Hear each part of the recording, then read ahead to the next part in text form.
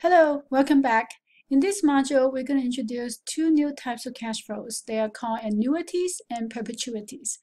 Annuity is defined as a set of cash flows that has the same amount that occur at regular intervals the, this is probably the most common form of financial securities. If you think about um, your car payment, they are the same amount every single month.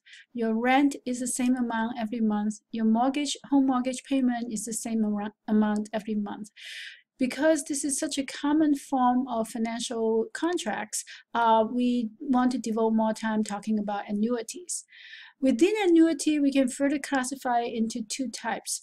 If the payment occurs at the end of the period, is called an ordinary annuity. In fact, if something is referred to as annuity without the word ordinary, you can assume that it is an ordinary annuity. Um, however, if cash flow occur at the beginning of each period, then it's called an annuity due. So if you think about your um, rent, rent is oftentimes due at the beginning of the month, uh, whereas your credit card payment is often due at the end of the month. So that's just two very common um, financial instruments that you have that you encounter on a daily basis, and one follows the form of an ordinary annuity, your credit card, and the other is an annuity due, your rent payment. A perpetuity is just an ordinary annuity that lasts forever. Uh, and it is a very special form, and we'll talk about that. One thing about annuity and perpetuity that we want to keep in mind is that interest compound uh, interest should be compounded at the same frequency as payment.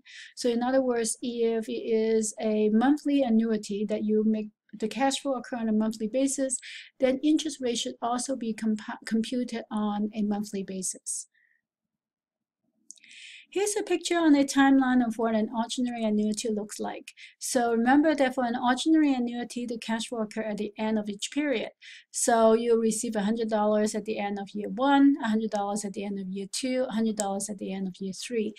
Uh, it's important for us to remember uh, to get used to what an annuity looks like on a timeline so that when you um, work on a problem, all you have to do is trans translate the cash flow onto a timeline and you know how to solve it appropriately. Uh, on the other hand, an annuity due, we know that the cash flow occur at the beginning of each period. So the $100 that receive at the beginning of year one, so this is $100 that we receive at the beginning of year one. So the beginning of year one is here. Uh, and this is $100 that we receive at the beginning of year two, at the beginning of year three and so forth. So notice that the investment horizon for both annuity, so investment horizon is N, in both cases the investment horizon is 3. However, in the annuity due, the cash flow occur at the end of each period, is very obvious. At the uh, at the annuity due, the cash flow occur at the beginning of each period. So it almost appears as though that you get the cash flow um, offset, but it still you still receive a total of three cash flows. So the investment horizon is still three time, uh, three years. Now here are the formulas associated with annuities. For a perpetuity, um, because it lasts forever, we must use the formula. So for the formulas for the perpetuity, um, I recommend that you turn to the end of your notebook and record down this uh, formula. So the perpetuity formula says that the cash flow is in that the cash flow or the present value of the cash flow as of year zero, today's present value, is equal to cash flow that starts in year one divided by the interest rate. There's also formulas for computing annuity. However, um, it's really not very practical to apply formulas to compute annuities. So for annuities, uh, I will rely on using the financial calculator. So if you, um, I would not recommend um, using the um, formulas for computing annuities. Now we saw that the main difference between annuity due and, and an annuity due and an ordinary annuity is the timing of the cash flow. Remember that for an ordinary annuity, the cash flow occur at the end of each period. And for the annuity due, the cash flow occur at the beginning of each period. But you get the same amount of cash flow and the same number of cash flow. So really the difference is one time period. Now in finance, we know that time value of money is important. So if you get your money in the beginning rather than at the end, that means you have the money with you longer. And by having the money with you longer, you are able to earn more interest. So the relationship between an annuity due and annuity is exactly that one period's worth of interest. So if you know the present value of an annuity, you get you, you can just add one period's worth of interest. So multiply by one plus the interest rate, that will give you the present value of an annuity due. The same relationship applies to the future value of an annuity. So as I mentioned earlier, we'll rely on the financial calculator primarily when we are working with annuity problems. So we're using the basic time value of money functions on your calculator. And one additional key that we'll introduce is the PMT or the payment key, which represents the annuity payments. Uh, when we are working with annuities, the inflow-outflow assumptions have be become more important. So the best way to illustrate this is to take a look at an example. Let's say this is a savings problem. You're going to deposit $550 a month into your account. There's an APR of 9% based on monthly compounding. How much will you have in the account in 35 years? So I want to point out a number of things in this problem. First is that your payment, your deposit occur on a monthly basis because you're putting aside $50 a month. And we also know that the question tells us that compounding is done on a monthly basis. So we have monthly compounding. So that's good. We have a check that compounding frequency and payment frequency is the same. And we have an annuity. So the first thing is identifying what kind of uh, problem we are working with. So we confirm that this is an annuity and we can also write the timeline that shows how does this annuity work. So we know that each month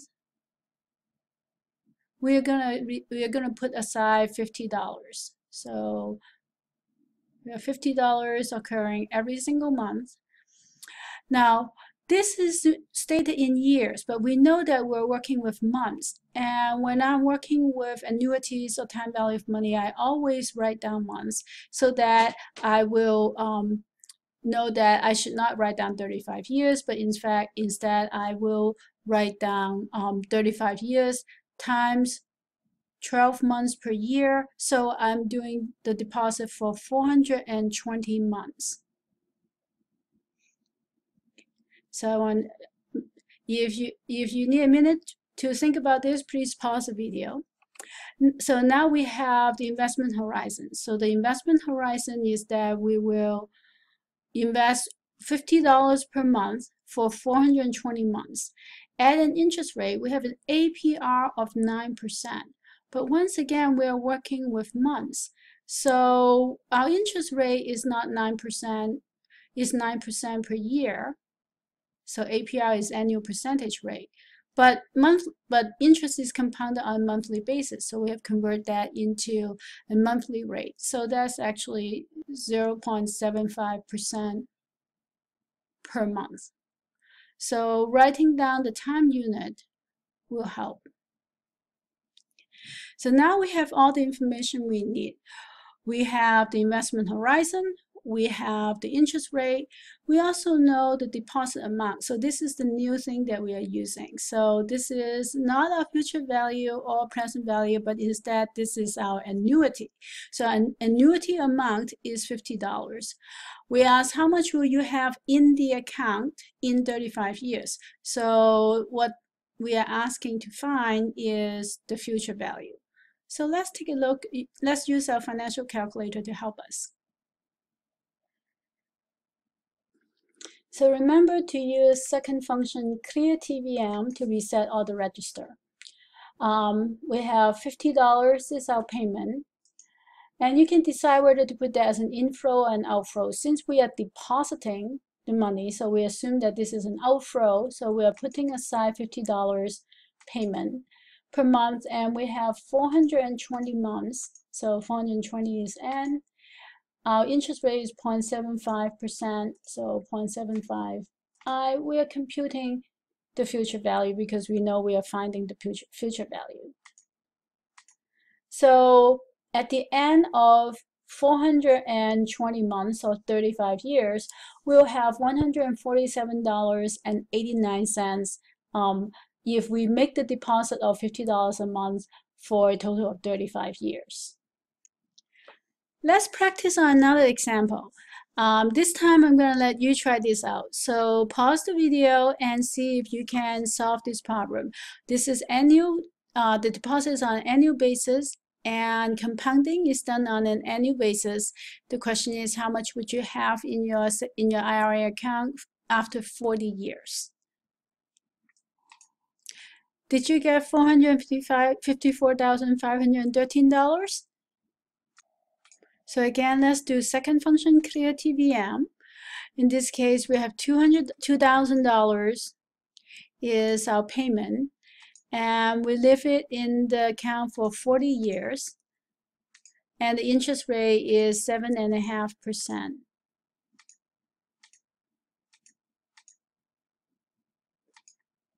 We're computing the future value. Okay, great, fantastic. Now let's see what will happen to our savings if you are able, if you start today, meaning that instead of waiting at the end of the first year, you're going to start today. And you also still make 40 deposits, but you'll make the deposit at the beginning of each time period. So what we have online, what, what do we call that? If we make our deposit at the beginning of each period instead of at the end of each period, we'll have an annuity due. So if this is, if this is an annuity due, we already know the future value of an annuity, so we can find the value of an annuity due. So if you if you are saving saving two thousand dollars per year over a 40 year period, even if you just make the deposit at the beginning versus at the end, you end up with quite a bit more money after 40 years. So that's the power of compounding. So this is one way to find the value of an annuity due, and that is first find that value of an ordinary annuity, and then you multiply it by 1 plus the interest rate. There's another way to find the value for an, uh, for an annuity due, and that is using your calculator directly. So first, let's clear our register. To set the cash flow to be an annuity due instead of an ordinary annuity, we need to change the mode to begin mode. So there's a second function. So we'll go second function and we want to change that. Right now is set to is is set such that all cash flows are assumed to be at the end of, of each period. If you want to change that, we'll have to use the set function. The second the set function again is a second function. So if you use the set function, so second function set, you'll see that now it changed the assumption from ending to beginning. So if you clear to get out of the menu, you'll see that BGN or begin mode is still is in effect now in your calculator. So we can enter the same problem. $2,000 is our payment at 7.5% interest over 40 years and, and we can compute the future value. Notice that the future value is now the future value of an annuity due. This is very important. If you do change your calculator to, to do this calculation, make sure that you change it back. So you want to go second function BGN, and now you use the set function one more time. So second, second function, set, that will reset it back to the cash flow assuming at the end of each period. And notice that the indicator is gone. So practice this until you're comfortable because uh, you do not want to leave your calculator in the in the begin mode. Um, once again, ordinary annuities are much more common than annuity due.